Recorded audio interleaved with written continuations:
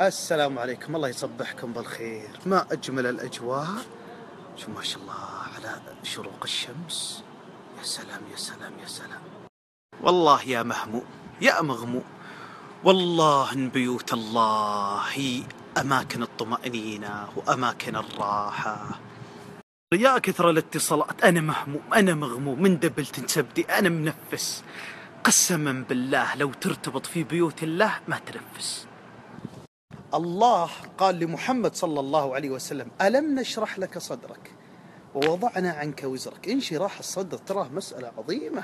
صلى الله الله سبحانه وتعالى قال للنبي صلى الله عليه وسلم ألم نشرح لك صدرك؟ انشرح صدر النبي صلى الله عليه وسلم فدعا إلى ربه. لأن الإنسان إذا ضاق صدره مستحيل أنه يدعو إلى الله أنه يتنقل أنه يمشي. ضيق الصدر مصيبة.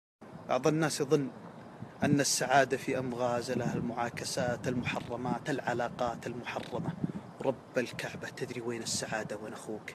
أن يتعلق قلبك ولكن ما يتعلق ببنته ويتعلق بولده ويتعلق بأمور الدنيا ومحرمات يتعلق في بيوت الله. إي والله في بيوت الله. سلام.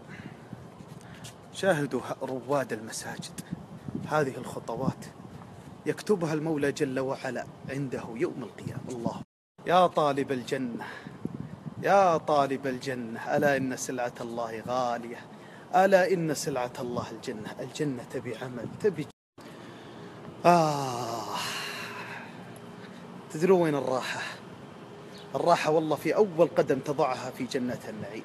إي والله. مسكين بعضهم مشغول بالعلاقات المحرمة ومغازلة وعلاقات واتصالات وبرمضان مشغل نفسه في الحرام وبالأسواق. ومشغل نفسه نسأل الله السلامة والعافية. على ليش؟ إنه بس بيسعد نفسه. أخوي الغالي والله السعادة عند رب الس... والله السعادة عند رب السماء والأرض. أقسم بالله لن تجد السعادة إلا عند الواحد الأحد. الله أكبر. ترى ربي يا غالي الآن الله يرانا.